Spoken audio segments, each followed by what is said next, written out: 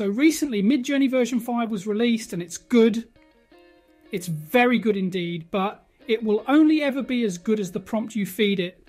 So I decided to try and train ChatGPT, which we all know and love, and train it to create stunning prompts for me on any subject I want for insane results. This works on all versions of ChatGPT, but for best results, you will require a paid subscription as we need to access ChatGPT version 4.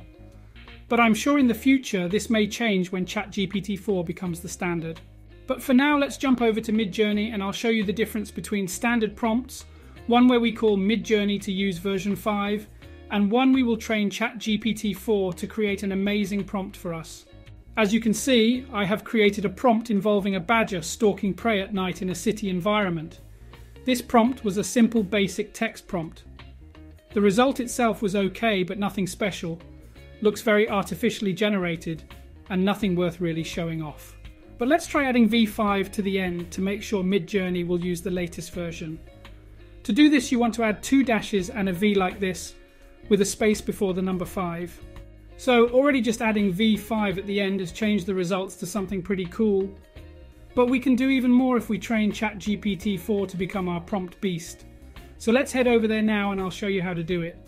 So ChatGPT 4 is unlike any other version.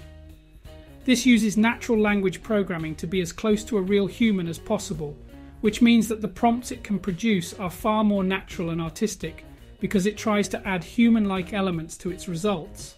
This can still be done on previous versions, but the results may not be as good or as consistent as version 4. Let's give it a try. The first thing we need to do is tell ChatGPT what a Midjourney prompt is.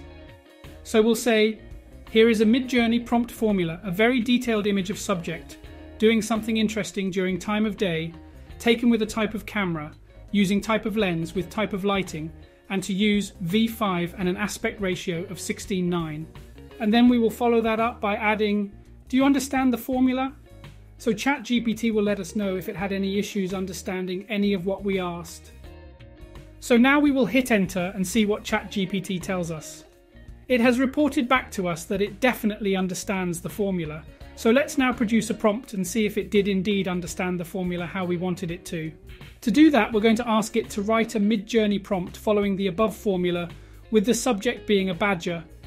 We can see that it will now start to produce a high quality prompt involving my subject of a badger. It's added details like golden hour being the time of day, taken with a DSLR camera with a telephoto lens and what type of lighting to use. All things that if I was to make it myself, I would most likely forget to add. So now we just need to copy and paste the text over to Midjourney and into the Imagine command and see what it will create for us. Wow, the quality and feel of these images are amazing compared to the originals that we produced. The lighting really makes them pop, and it's really captured more of the feel I wanted when I started my original prompt. But if you remember, my original prompt wasn't a badger digging a hole, it was a badger in a city. So let's copy and paste the same prompt but change these details. Every time I do this, I'm always stunned by the results more and more. Look at how these compare to the original prompt. They are a million miles apart from the original and show just how powerful training ChatGPT is to understanding Midjourney prompts. Let's try something different. I'm going to copy and paste my original request and change Badger to an evil Furby. This should be funny or interesting, or maybe both. Okay, so these came out way creepier than I expected, and will probably give me nightmares. But hey, it's all for the good of my subscribers, so I really hope you have found this video interesting or informative. Give it a go yourself and see what can be created. Thank you all for watching and until the next time, all the best and I'll see you in another video soon.